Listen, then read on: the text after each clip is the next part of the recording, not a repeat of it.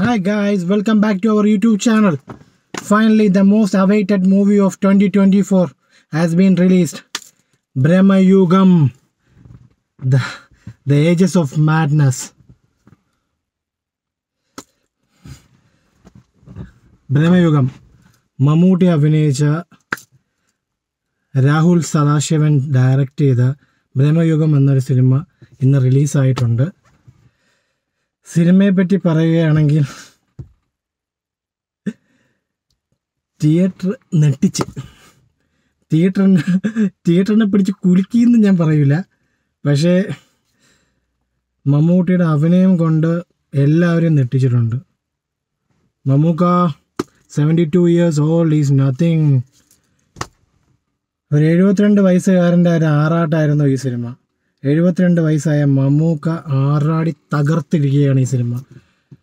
പുള്ളിയുടെ അഭിനയം I am not a person to talk about is acting and what is it is a legend but this movie is just mind blowing നമ്മൾ എന്ത് പറയാൻ വേണ്ടിയിട്ട് ഒരു ഒരു ഇംഗ്ലീഷ് മൂവി പോലെ വളരെ ക്വാളിറ്റി ആയിട്ട് ക്വാളിറ്റി ആയിട്ട് തന്നെ പടത്തിന്റെ direction man Rahul Sadasivan your work is just amazing മലയാളത്തിൽ മലയാളത്തിൽ താൻ തകർത്ത് വെച്ചിട്ടുണ്ട് ബ്രോ. അപ്പോൾ നിങ്ങളുടെ മേക്കിംഗ് വന്നിട്ട് ഒരു രക്ഷയില്ല നിങ്ങളുടെ ഡയറക്ഷൻ നിങ്ങളുടെ കാസ്റ്റിംഗ് നിങ്ങൾ ഈ സിനിമയ്ക്ക് വേണ്ടി എടുത്ത കാസ്റ്റിംഗ് ഏറ്റവും സ്യൂട്ടും ആപ്റ്റുമാണ് ഈ പടത്തിൽ ആകെപ്പാടെ അഞ്ച് പേര് മാത്രമേ ഉള്ളൂ. ആ അഞ്ച് പേരിൽ മൂന്ന് പേരാണ് ഈ പടത്തിലെ മെയിനായിട്ടുള്ള ആൾക്കാർ ഒന്ന് വന്നിട്ട് സിദ്ധാർത്ഥ് ഭരതൻ. സിദ്ധാർത്ഥ് ഭരതനെ നമ്മൾ ഒരുപാട് സിനിമകളിൽ കണ്ടിട്ടില്ല. അത് ഒരു യുണീക്നെസ് ആയിരുന്നു. പുള്ളിക്കാരനെ കൊണ്ടുവന്നത് ഒരു യുണീക്നെസ് ആയിരുന്നു.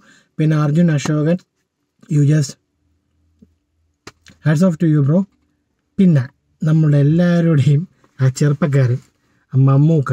Mammukka you just done an amazing job പുള്ളിക്കാരൻ വന്നിട്ട് ഇങ്ങനെ എൻജോയ് ചെയ്ത് അഭിനയിച്ചുകൊണ്ടിരിക്കുകയാണ് മമ്മൂക്ക. പുള്ളിക്കാരന്റെ ആ പുള്ളിക്കാരന്റെ ആക്ടിങ് ഈ സിനിമയിൽ പറയാനേ ഒന്നുമില്ല. പുള്ളി വന്നിട്ട് അമ്മാതിരി രീതിയിൽ പുള്ളിക്കാരെ ഈ പടത്തിൽ അഭിനയിച്ച് വെച്ചിരിക്കുകയാണ്. സിനിമയുടെ കഥയെപ്പറ്റി പറയുകയാണെങ്കിൽ ഒരു മന ഒരു മനയിൽ വന്ന് അകപ്പെട്ടു പോകുന്ന ഒരു ഒരാളായിട്ടാണ് അർജുൻ അശോകൻ വരുന്നത്. അപ്പോൾ ആ മനയിൽ ഒരു കാര്യസ്ഥനായിട്ട് നിൽക്കുന്നത് സിദ്ധാർത്ഥ് ഭരതൻ. ആ മനയിലെ ഒരു മനയിലെ എല്ലാം എല്ലാമായ തമ്പുരാനായ ഒരു പോറ്റി കുടമൻ പോറ്റിയായിട്ട് നിൽക്കുന്നത് നമ്മളുടെ മമ്മൂക്ക. പിന്നെ പടം വന്നിട്ട് സ്റ്റാർട്ടിങ് സ്റ്റാർട്ടിങ് തൊട്ടേ പടം വന്നിട്ട് സ്ലോ പേസിലാണ് പോകുന്നത്. പടം വന്നിട്ട് മാസം എന്നുള്ള രീതിയിലൊന്നുമില്ല. പടം വന്നിട്ട് വളരെ സ്ലോ പ്ലേസിൽ പടം സ്റ്റാർട്ടാവും പിന്നെ അവിടുന്ന് പതുക്കെ പതുക്കെ അർജുൻ അശോകൻ നേരെ വന്ന് മനയിലോട്ട് വരും. മനയിലോട്ട് വന്നതിന് ശേഷം അവിടെ ഉണ്ടാകുന്ന സംഭവങ്ങളാണ് സിനിമയിൽ കാണിച്ചിരിക്കുന്നത്. പടം വന്നിട്ട് ആദ്യം തൊട്ടേ ഒരു മിസ്റ്ററി നിലനിർത്താൻ വേണ്ടി അവർ ഒരുപാട് ശ്രമിച്ചിട്ടുണ്ട്.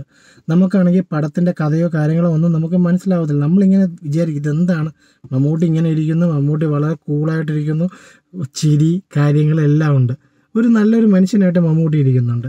പിന്നെ പടം ഇങ്ങനെ പോയിക്കൊണ്ടിരിക്കുന്ന സമയം ഇങ്ങനെ പോയി പോയി മാറുന്നതനുസരിച്ച് മമ്മൂക്കയുടെ ക്യാരക്ടർ ഇങ്ങനെ ഇമ്പ്രൂവ് ആയി ഇമ്പ്രൂവ് ആയിക്കൊണ്ടിരിക്കും.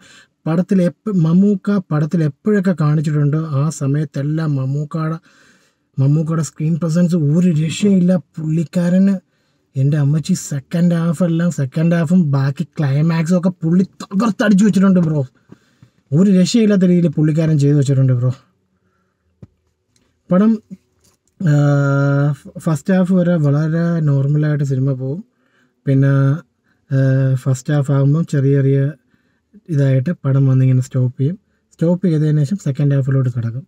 അപ്പം ഫസ്റ്റ് ഹാഫിൽ തന്നെ ഫസ്റ്റ് ഹാഫ് ഇന്റർവൽ എത്തുന്നതിന് മുമ്പേ തന്നെ പടത്തിന്റെ ഏകദേശം ഒരു രൂപം നമുക്ക് മനസ്സിലാവും. ചെറിയൊരു രൂപം മനസ്സിലാവും. അത് കഴിഞ്ഞതിന് ശേഷം വീണ്ടും ഒരു ട്വിസ്റ്റ് ആ ട്വിസ്റ്റ് കുറച്ച് നെട്ടിപ്പോയി അതൊരു രക്ഷയില്ലായിരുന്നു. നിങ്ങൾ മാത്രമേ ഇങ്ങനൊരു സിനിമയിൽ അഭിനയിക്കുള്ളൂ മമ്മൂക്ക നിങ്ങളല്ലാതെ വേറൊരു നടനും ഇതുപോലത്തെ ഒരു സിനിമയിൽ അഭിനയിക്കത്തില്ല. കിട്ടുന്ന ക്യാരക്ടർ മമ്മൂട്ടി ചെയ്തിരിക്കുന്ന ക്യാരക്ടർ വന്നിട്ട് ഒരു രക്ഷയില്ല. അതൊരു കിടു സസ്പെൻസ് ആണ്. പുള്ളിക്കാരൻ തകർത്തടിച്ചിട്ടുണ്ട്. തകർത്തടിച്ചിട്ടുണ്ടെന്ന് പറഞ്ഞാൽ തകർത്തടിച്ചിട്ടുണ്ട്. എനിക്കൊന്നും പറയാനില്ല. എന്തായാലും ഞാൻ പ്രതീക്ഷിച്ച പോലെ തന്നെയായിരുന്നു പടം. പടം വന്നിട്ട് നല്ല സ്ലോ പ്ലേസ് ആയിരുന്നു. സ്ലോ പ്ലേസിൽ നിന്ന് പടം ഇങ്ങനെ പോയി പോയി പോയി.